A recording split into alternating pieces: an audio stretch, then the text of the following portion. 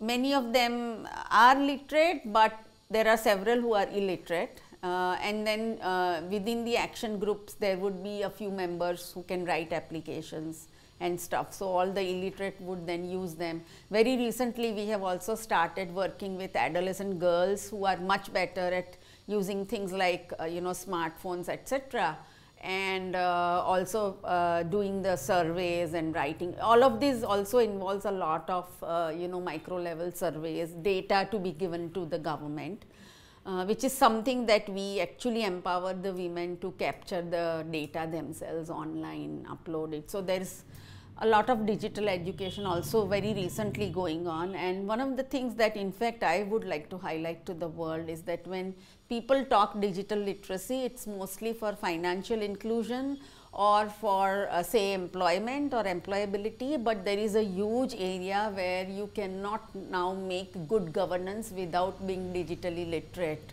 And that is a different ball game. So, while we do educate them on digital literacy now, it is mostly for making their governance much better. CoWIN uh, app during the COVID was a very good example. Yeah, you couldn't get the vaccine unless and until um, you registered with the app. So, then you have to understand the, you have to be digitally literate. The beauty of this community action groups that we have set up uh, over the cities is that although they began with uh, say access to water, sanitation or healthy housing, uh, all of these things of course had a very huge impact on their health because it was very closely linked.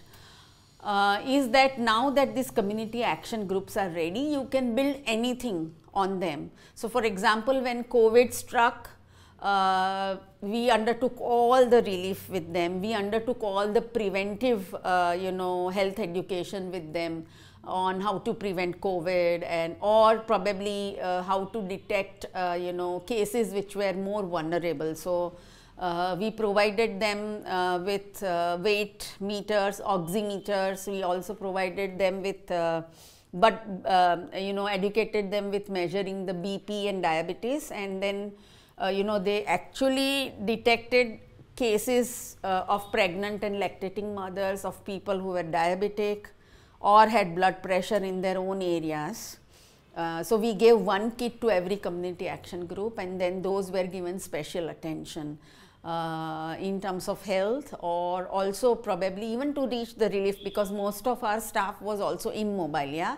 There were lockdowns, but there were private sector like uh, you know um, Zomato or uh, you know Swiggy who probably reached out to us and they wanted to give relief support. And so, all that we did was that we linked them with the community action groups at the local level and they reached the relief support in terms of food there and uh, the community action group then uh, you know ensured that the most needy got it first at their slum level uh, and so I think uh, very interestingly now this has become a group where you can build any layer because of the kind of empowerment that they have gone through.